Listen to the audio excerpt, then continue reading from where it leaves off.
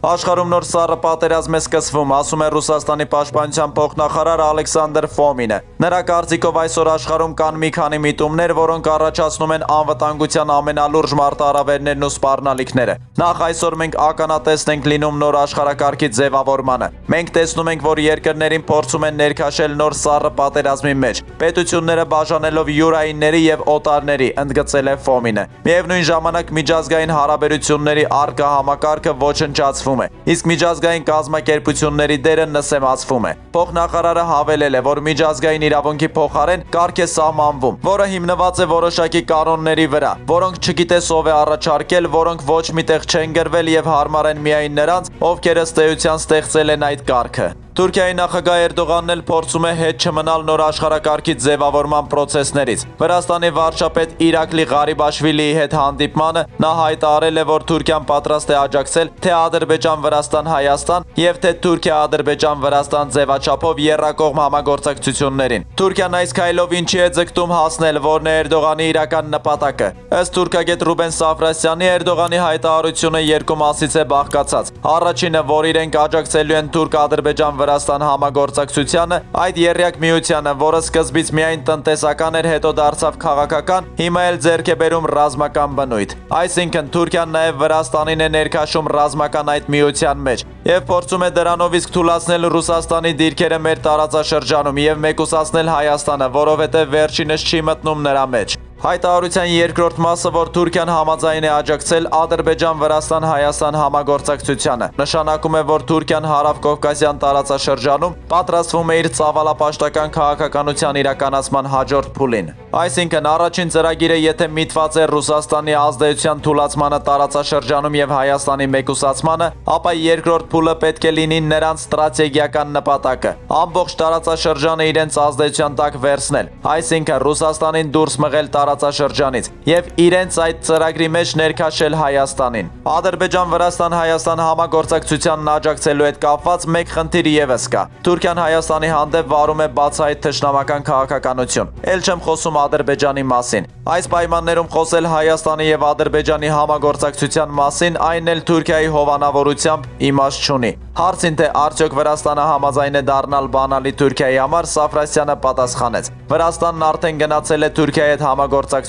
տնտեսական, ֆինանսական առումով։ Վրաստանը Թուրքիայից շատ մեծ կախվածություն ունի։ Տնտեսական կախվածությունն աստիճանաբար վերաճում է նաև քաղաքական կախվածության, որի վառ ապացույցը Բաթումին է։ Կա նաև այն հանգամանքը, որ Վրաստանը ձգտում է դառնալ ՆԱՏՕ-ի անդամ, իսկ առանց Թուրքիայի համաձայնության Վրաստանը չի կարող ՆԱՏՕ-ի անդամ դառնալ։ Այսինքն Վրաստանը շահագրգռված է Թուրքիայի հետ ունենալ ոչ միայն լավ հարաբերություններ, այլև Թուրքիայի այդ ծրագրերի մաս կազմել։ Ըստ էության մեր տարածաշրջանում Թուրքիայի ցավալապաշտական ծրագրերը հիմնվում են հենց Վրաստանի վրա։ Այս առումով այո, Վրաստանը բանալու նշանակություն ունի Թուրքիայի համար։ Թուրքիա-Վրաստան-Ադրբեջան երրակողմ համագործակցությունը ընդհանուր տարածաշրջանի եւ մասնավորապես Հայաստանի համար ինչ վտանգներ է պարունակում։ Վտանգն ակնհայտ է։ Տեսնում ենք, որ արդեն գոյություն ունի թուրք-ադրբեջանական տանդեմ, եւ Թուրքիան ձգտում է, որ այդ տանդեմին միանա նաեւ Վրաստանը։ Բայց պետք է հաշվի առնել, որ Վրաստանի նպատակը ոչ թե Թուրքիայի հետ մերձանալն է, այլ դեպի արևմուտք գնալը։ Արևմտյան ինտեգրումն է այդ երկրի նպատակը։ Ուղղակի Թուրքիայի հետ համագործակցում է ուզած չուզած՝ ի տարբերություն Ադրբեջանի, որն այլ ընտրանք չունի եւ պետք է ծառայի Թուրքիայի շահերին։ Իսկ Վրաստանի քաղաքականությունն այս առումով ավելի ճկուն է։ Նա փորձում է իր հիմնական նպատակներին հասնելու համար օգտվել նաեւ Թուրքիայի հետ համագործակցությունից, բայց դրա համար ծանր գին է վճարում։ Թուրքական ազդեցությունը նկատի ունեմ այն բոլոր առումներով, որոնց մասին արդեն խոսեցի։ Այսինքն Վրաստանի նպատակը Թուրքիային սերտաճելը չէ, ինչպես Ադրբեջանի պարագայում։ Խնդրում ենք բաժանորդագրվել ալիքին եւ սեղմել լայք։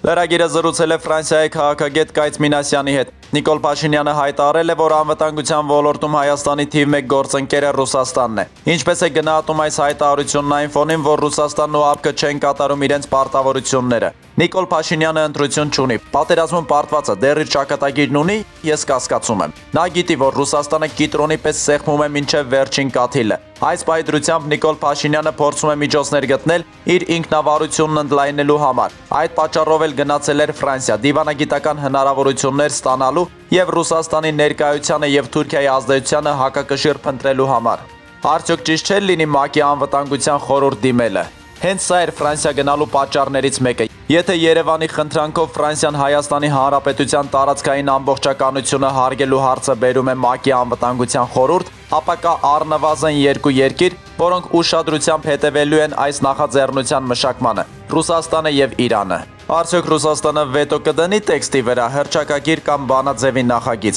Կմասնակցի Ռուսաստանը այս տեքստի մշակմանը։ Երկրորդ երկիրը Իրանն է, որը շատ զգայուն է Հայաստանի հետ սահմանի նկատմամբ, այնպես ինչպես Միացյալ Նահանգները, Չինաստանը, Ֆրանսիան, Մեծ Բրիտանիան։ Լևոն Տեր-Պետրոսյանն ասում է, թե զարմանալի է Ալիևի կոպիտ ու ագրեսիվ հռետորաբանությունը հաղթանակից հետո։ Արդյոք ձեզ համար նույնպես զարմանալի է։ Իլհամ Ալիևն անում է այն, ինչ չարեց Լևոն Տեր-Պետրոսյանը 1994 թվականին։ Իր ռազմական հաղթանակը քաղաքական հաղթանակի վերածելու փորձ։ Այս պայմաններում եթե Լևոն Տեր-Պետրոսյանը չի հասկանում Իլհամ Ալիևին, դա այն պատճառով է, որ նա ինքը չի հասկանում ռազմավարությունը եւ միջազգային հարաբերությունները։ Դա ինձ չի զարմացնում։ Դուք չեք կարող ներկայանալ որպես պետական գործիչ եւ վարվել որպես ակադեմիկոս։ 1994 թվականին Լևոն Տեր-Պետրոսյանը հանդես եկավ ոչ թե որպես պետական գործիչ, այլ որպես լավ ուսանող, որը ստիպված էր ցույց տալ ողջամիտ ուսանողի դեմքը։ Մենք վճարում ենք նաև այս պետության թուլության հետևանքների համար։ Արդյոք ճիշտ չէ Արցախի ճանաչման գործընթացի մեկնարկը տալ խորհրդարանական քննարկումներով։ Այս հարցը պետք է որոշվեր տասնամյակներ առաջ։ Յուրաքանչյուր զգայուն ժամանակահատվածում թեման վերադառնում է սեղան։